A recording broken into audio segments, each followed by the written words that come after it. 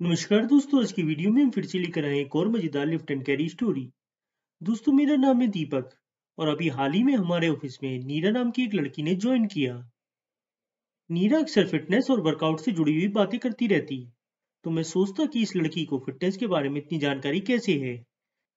खैर, एक दिन किसी काम से मुझे उसके फ्लैट पर जाना पड़ा तो मैंने देखा कि उसने अपने घर पर ही एक छोटा सा जिम सेटअप किया हुआ है।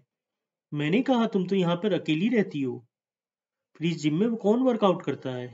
वो बोली, यहाँ पर मैं अकेली रहती हूँ और मैं फिटनेस से जुड़ी इतनी बातें करती हूँ तो आपको नहीं लगता कि यहाँ पर मैं ही वर्कआउट करती हूँगी? मैंने कहा, मैं तो सोच रहा था कि तुम ऐसी फेंकती रहती हो। भला एक लड़की को वर्कआउट से जुड़ी इतनी जानकारी कैसे होंगी?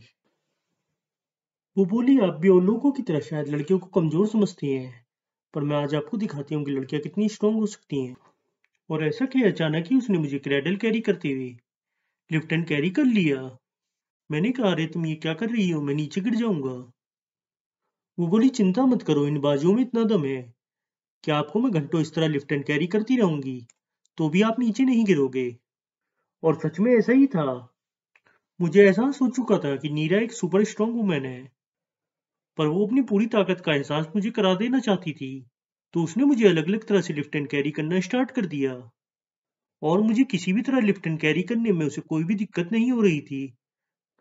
बल्कि वो मुझ जैसे एक लंबे तगड़े आदमी को इस तरह लिफ्ट एंड कैरी कर रही थी, जैसे कोई मैं छोटा बच्चा हूँ।